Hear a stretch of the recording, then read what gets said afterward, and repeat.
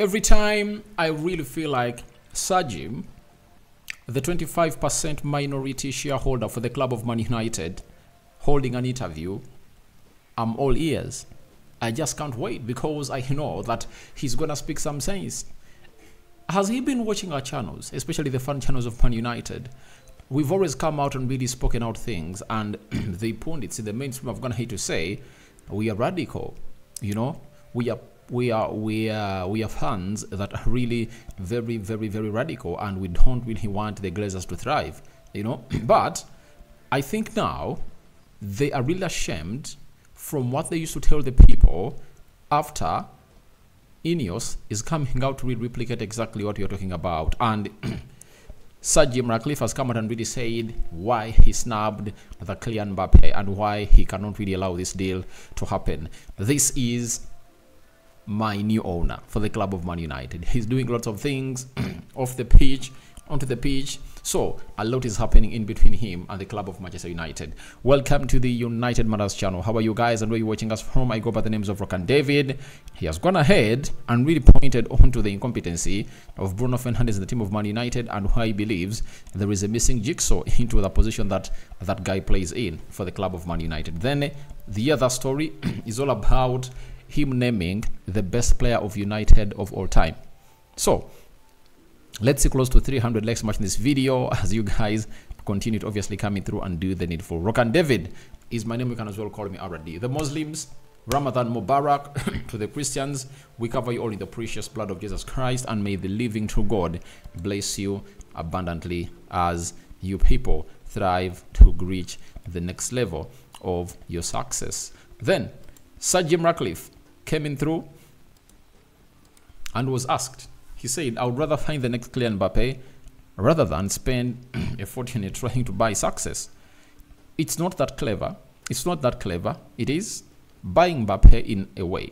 Buying Mbappe in a way. Much more challenging is to find the next Mbappe or the Jude Bellingham. That is Jim Ratcliffe for you. So, he is this kind of man who believes in really building talent. He has gone ahead to come in through the club of Man United where Erik Ten Hag is the man at the helm of doing that business. He came in through the club of Man United, and however much was going to spend in and bring in players like Tyrell Malacia, Lisandro Martinez, Antony, Casemiro, Mason Mount, Andre Onana, Rasmus Højlund, you understand? He has gone ahead to sign in seven players on a permanent ever since he came to the club of Man United, and all those players for me are really not doing bad. But the hugest achievement uh, Erik Ten Hag has gonna hit to get is the coming in through and getting in players from the academy and ushering them into the first team for the club of Man United. That is the most important thing that Ten Hag has gonna hit to do. And if you are the new 25% minority stakeholder for the club of Man United, and you you've talked about looking for the next Kylian Mbappe, for the next Jude Bellingham, the manager of Man United has already gone ahead to discover those. In Garnacho, you can get the next Mbappe. that is it. That's why Real Madrid have gone ahead to show interest in him. In Kobbie Mainoo, you've already had the next. You've, you've already gone ahead to have the next Jude Bellingham. So the two players, as we're going to hit obviously talk about, are already at Man United and they've been integrated in the team of Man United by Erik Ten Hag. He has gone ahead to offer them the debuts for the club of Man United and they're really doing great. This is where I love this man. And when you go to the financial point of view, uh, Kylian Mbappe, a player in the stature of Kylian Mbappe, can cost 150 million pounds. Now, 150 million pounds, you can get a Kylian Mbappe who is an already made product and you're, and you're going to bring him in to a very huge salary that is really astronomical. For example, when Mbappe comes into at Man United, you know what happens? Mbappe can find himself asking for a salary of like 600,000 pounds a week. You know, that means it's going to affect the wage bill or the wage structure for the club of Man United, something that you would like to obviously see happen at your team. So the best thing to do is get the 150 million pounds, you know. Mbappe would have gone ahead to cost to come to the club of Man United. After getting that amount of money, this is what you're supposed to do. One, get in three players instead. For example, I can give you an example of players that are really available. Um, when you look at, um, um, you can bring in a midfielder like Amadou Onana for Everton at 50 million pounds. Then you can as well go for Kvaratskhelia, who plays for Napoli for like 70 million pounds. that is 120, 30 million pounds left. You can go in, uh, you can go out and look for a certain player who is 30 million pounds, who is going to be an understudy. Or you can even use that amount of money to go in and really scout those young players that can obviously turn out to be the next Mbappe. Like look at Amad Diallo. We brought him in for 35 million pounds, but I believe by the end of next season, everyone will be admitting that Manchester United, amongst all the wrongs they went ahead to do, they went ahead to sign in a better player. And there are very many other young players that we can obviously go ahead and really sign from the Eredivisie that are really promising and really good. So, at Manchester United, that is a very huge decision made by the manager, Erik Ten Hag, ah, sorry, by the manager, sorry, by the owner, and that shows you that he wants to keep Erik Ten Hag here and he wants to see this guy stay. But it is a very huge shift from Ed Woodward. If it was Ed Woodward running the club of Man United on behalf of the Glazers, he would have gone ahead to go out and really push for this move and see how much is Kylian Mbappe costing. How many short sales is Kylian Mbappe going to get us? You know? Are we going to impress the brands that advertise with us? They would have gone ahead to break the bank and get in Kylian Mbappe. And for that case, they would go in and get in Kylian Mbappe and not even sign any other player because for them, that's what they do. you get? They did it, you remember, because averagely every season we've been spending 150 million pounds on average. But when you look at uh, what is it? When you look at uh, the transfer of uh, the transfer of um, Harry Maguire, Ruben Dias was there. Man United was shown Ruben Dias. I think Ruben Dias's agent. He's um, this super agent of the former of Ronaldo. Let me see. Um, what's the name of that guy? Super agent. Super agents I want to get his name. You know. Let me get his name first here. Um, uh, let me get the name right. George Mendes, right. George Mendes is the name. Now, when you look at the super agent, that is George Mendes, he had obviously had a very good connection with Man United ever since he brought them Ronaldo, Nani, Anderson, and very many other players, the Diego Dalot of this world. Then he told them that there is a player playing, I think was playing for Benfica, right? Benfica or FC Porto, one of those two teams, and he's good.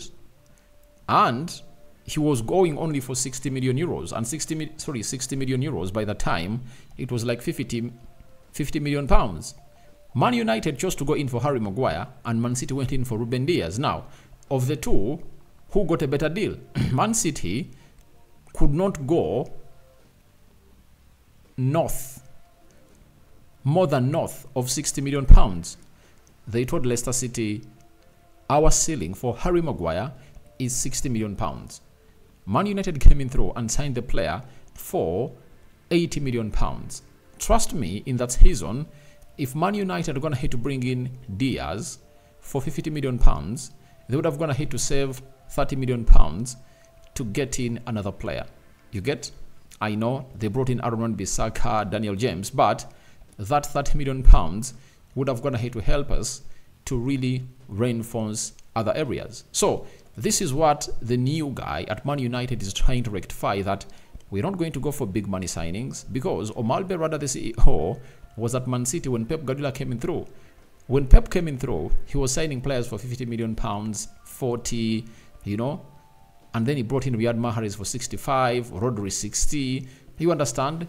And to break the dreadlock, to go in for a 100 million pound player, that is Jack Grealish, it has taken them years, but they've been operating on players that don't exceed 60, 65 million pounds, and they've gone ahead to offer them results. You know, so our live, I like Sir Jim Ratcliffe about that, and I think with such a scenario and narrative, Man United is really gonna go up and running, and no one is really gonna stop us from really getting to where we deserve to be. Then he said something that was like pinpointing at Bruno Fernandes and his abilities, and one of those players that Man United should be looking at to really sign. Sir Jim Ratcliffe asked Man United player what United player in their prime he would bring into the current United team. He said Paul Scholes. I think that's the player that's most missing. Casemiro and Kobbie Mainoo are sort of quite defensive players, but they don't have a Paul Scholes or an Iniesta. Have you heard? have you heard? Now, this is coming in through from the horse's mouth. I've always told you that we are not having a player in the caliber of Odegaard, Kevin De Bruyne, Luka Modric, James Maddison. I've always told you that. Now, don't tell me that. This is rocket science. I told you, if I can't see these things, then Ineos can also see them. So, this is how I come here in peace to come in through and really tell you the truth that Manchester United is going the right way.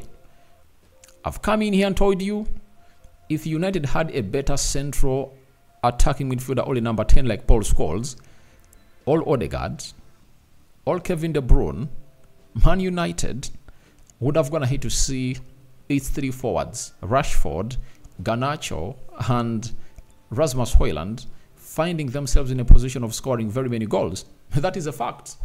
You might not want it to hear it, especially if I totally love Bruno Fernandes, but that's the fact.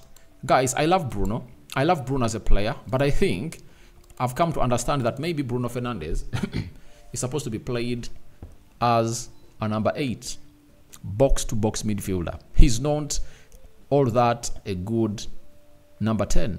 So, this is one of the things they've gonna hate obviously say, and I think in the conversations they've gonna hate to do and the assessments they've gonna hate to carry out at the club of Man United, they found out that we can get that ball very well from this central defense through the midfield. Casemiro and Kobbie Mainoo can carry that ball and give it to Bruno Fernandes. But where does everything go wrong? Everything goes wrong when Bruno gets the ball because we lack a player who is going to get us the control that the likes of Kevin De Bruyne, um, Odegaard, the modern Paul Scholes, that can do. So if this guy is hinting about us lacking a player like Iniesta, I'm falling in love with him. When I was here talking about it, people were like, Rokani, you are lying. It's not really that. But now, you know, you know that the man in charge of football operations and decisions, Sir Jim Ratcliffe, has come out and said, we are missing out on a player like Paul Scholes or Iniesta, meaning that we are lacking a creative midfielder who is supposed to be playing ahead of Kobbie Mainoo and Bruno Fernandes. And this is why I told you that in certain games, Bruno should be uh, taken off. Let Eriksen be given a chance to play as a number 10 and see what he offers because all his best performances have been seen when this guy is playing as a central attacking midfielder. That is it. So I'm loving this guy. Guys, every time he speaks, he speaks sense. I've gonna hate to see lots and lots of quotes I was gonna hate to put out, and they're really good. So every people, every person who says that Rokan has a personal vendetta on Bruno Fernandes, not a personal vendetta, but I'm comparing him to those players that you're competing with that play in the same in the same position with the teams that you're competing with. If United had a Kevin De Bruyne, would have been a different team altogether. If United had an Odegaard, different team altogether. James Maddison, different team altogether. Even if it's a Eberechi Eze, right? It's a different team altogether. So in my understanding, I think these guys are really right. And I'm loving everything they're really putting out because it's of great knowledge, right? So, thank you very much, Sir Jim Ratcliffe. Guys, when I hear this, I just can't wait for the summer transfer window. And it's really not far. Because, as we speak right now, it's um, today is 20th. 11 days to the end of this month. Then April, May, June 15th. So that means we are like how many days? Those are 26 plus 61. We are like 80 days away from going into the summer transfer window. And trust me, we're going to enjoy it. We're going to enjoy it. I can't wait for the outgoings and the incomings at the club of Man United. And guys, let me make this announcement. I'm going to start up a new channel where I'm going to be doing the top 10 and lifestyle of your players you know but it's going to be really general and when i do something concerning man united i'll obviously try to share it on the community page and you guys will see it so it's really gonna start i think at the end of this week i've been sitting down compiling these top 10 transfers man united are really going in for top 10 central defenders united are going in for top 10 midfielders and so on and so forth top 10 managers there to sack Erik ten Hag and so on and so forth. Then the lifestyle, Erik Ten Hag and his family, the cars of United players, and very many other things are really going to be coming in here for you. The lifestyle, how much. So a lot is onto the table for you, and you just can't wait to find me there doing that. So that is it coming in through from Eric, so, sorry, from Sir Jim Ratcliffe. And lastly, this is what he had to say. This is what he had to say that went ahead to excite me as a United fan that Sir Jim Ratcliffe asked who is the greatest player to ever play for Man United. He said Cristiano Ronaldo. Do you doubt it? Do you doubt it? I think United have only two players that are going to hit win the Ballon d'Or. I think it's George Best. I think George Best. Not so. Let me check whether he won. I think he won. George Best. Ballon d'Or. I think we have only two players that have gonna hit to win the Ballon d'Or. And in, and in 1968, you know, I think George Best went ahead to win the Ballon d'Or. And uh, by the time he was 22 years of age, and um, they're telling us that um, Best also won the Ballon d'Or in 1968 after receiving more votes than Bobby Charlton. That meant he had won the three major honors in club football at the age of 22. Right? That is in 1968. That is George Best for you. So, George Best is one of those players that won a Ballon d'Or, but what differentiates him from Ronaldo? It's the career that Ronaldo is going to hit to have even after he has gone ahead to leave the club of Man United. He has been a sensational, you know, ever since he joined the club of Man United. You cannot downplay his efforts, and he's really trying to do the needful as a guy in there for you. So for me, Ronaldo is the greatest player to ever play for Man United, but I know there are players that if at all they are kept under a certain manager, they are going to take off. Because the problem we've always gone ahead to have at Man United is that all the youngsters that we've gone ahead to get in under any manager have not been given a chance to grow under that manager. For example, Januzaj. You know what happened? Januzaj came in through showing huge potential under David Moyes. He got sacked. Van Gaal comes in through, throws him on the bus. Van Gaal comes in, Anton Martial, Marcus Rashford, Jesse Lingard, and so much and so much more. But for me, amongst all those young players, I think, um, I think Rashford and Anton Martial had attributes to become the best players in the world. You understand? But this guy had them for two seasons and got sacked. Mourinho came in through, changed shape of play. So it was really very sour. After Mourinho, uh, Ten Hag came in through, brought it Greenwood. Greenwood went, and after Erik Ten and after him, there is Erik Ten Hag, and Erik Ten Hag is gonna hit obviously embrace Anton Martial, uh, Dalot is gonna hit to improve him. Even Bissaka has gonna hit to improve him and he's going to have to bring in other youngsters, Kobbie Mainoo and Alejandro Garnacho. And trust me, if if Ten Hag stays here for the next five years, you'll see one of those boys win a Ballon d'Or because winning a Ballon d'Or is simple. Go ahead, win the Champions League, one. Go ahead your national team and perform well. So that means if Kobbie Mainoo comes in through and win the Champions League with Man United, he goes for England, like in the World Cup, of 2026, he goes ahead to really lift the World Cup with England, being so much influential, into that tournament, he wins it. If it's Garnacho, after us winning the Champions League, scoring in those goals and putting in lots of performances because for him he's a forward, he goes to Argentina, World Cup of 2026. They defend it where they perform very well because if you're ever gonna hate to see a team that is gonna hate to win the World Cup not present not getting in a Ballon d'Or winner. Like 2018, it was France, but Real Madrid are gonna hate to win the Champions League, and Luka Modric are gonna hate to put in a very integral role to win it. And guess who was given that um, d'Or? It was Luka Modric, and everyone said he deserved it. So Garnacho might Garnacho or Kobbie Mainoo might not even be part of the team, might not be might not be part of the team that's going to win the World Cup, but they're going to hit to play in the final, and their stats in the World Cup have been really immense. You know, like if at all Kylian Mbappe, I give you an example. If Kylian Mbappe had gone ahead to win the Champions League last year, there is no way Messi would have gone ahead to lift that trophy, the Ballon d'Or of last year. Mbappe would have gone ahead to lift it, you know.